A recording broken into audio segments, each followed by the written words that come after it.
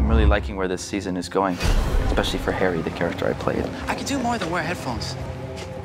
You know that, right? It's going to a much darker place. I know what everyone thinks. No one blames you for Siobhan. She was the rat, not you. In season one, he was the most hopeful of the group, the most idealistic.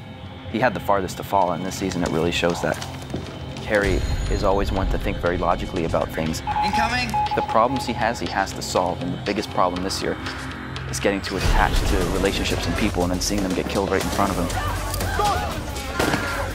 So he comes into season two with the logic of everyone around him is dead.